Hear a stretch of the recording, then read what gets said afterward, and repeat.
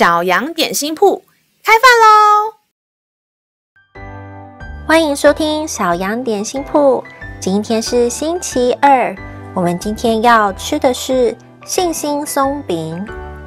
神的话能使我们灵命长大，让我们一同来享用这段关于信心的经文吧。今天的经文是在民数记二十三章第十九节：神非人。必不至说谎，也非人子，必不至后悔。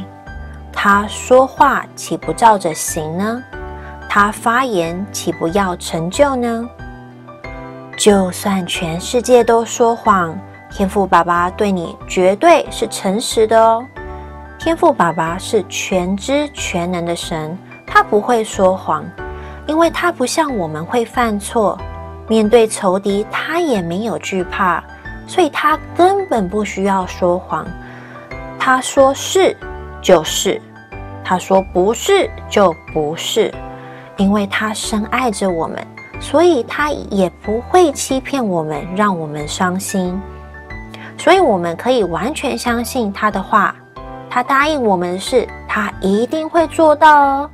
就像他说，他会以永远的爱。来爱你，所以你永远都会是他所爱的，知道吗？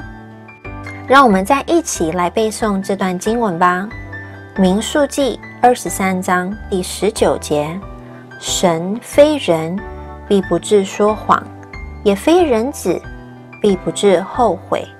他说话岂不照着行呢？他发言岂不要成就呢？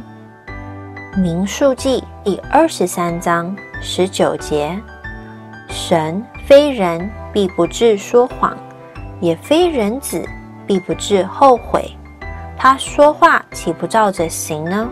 他发言岂不要成就呢？你都记住了吗？让我们一起来用这段经文祷告。亲爱的天父，这个世界的声音好多好大，求你帮助我，能单单听你的话。